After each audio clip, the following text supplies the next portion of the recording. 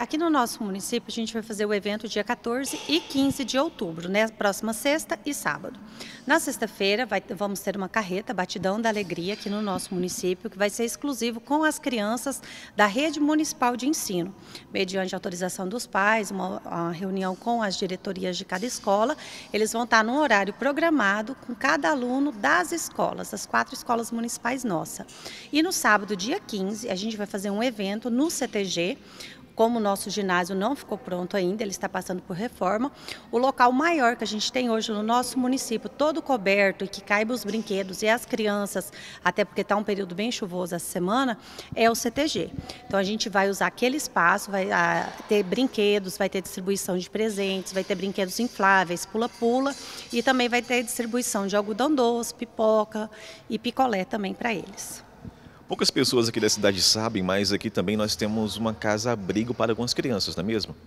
Isso mesmo. Aqui em Alto Garças a gente tem uma casa-abrigo, já tem alguns anos. Hoje a gente consta, conta lá sete crianças que moram na nossa casa-abrigo. Então, assim, a gente também vai fazer um evento separado para elas, porque tem fins de semana que elas passam com os pais e nem sempre tem uma autorização para elas estarem também saindo da casa-abrigo. Fala pra gente como é que tá a situação dessas crianças, por que, que elas foram para lá, a maioria delas, assim, mais ou menos? Então, as crianças vão para lá mediante uma autorização judicial. Tem crianças que já estão lá mais de três anos também. Então, assim, é tudo feito em, em, sigilo. A gente tem uma equipe cuidadora, são seis pessoas hoje que moram, cuidam lá da casa, elas têm o horário contraturno delas, e a gente tem uma coordenadora também. Isso tudo é feito mediante a parceria com a, o Fórum e com a Promotoria de Justiça também.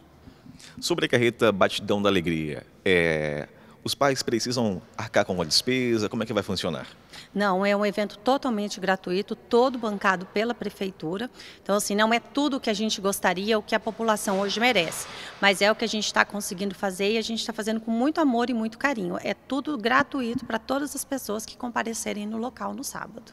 Lembrando que vai, também, vai ter também sorteio de presente, não é isso? Distribuição em parceria com alguns, algumas entidades da cidade? Sim, a gente recebeu a doação de bicicletas.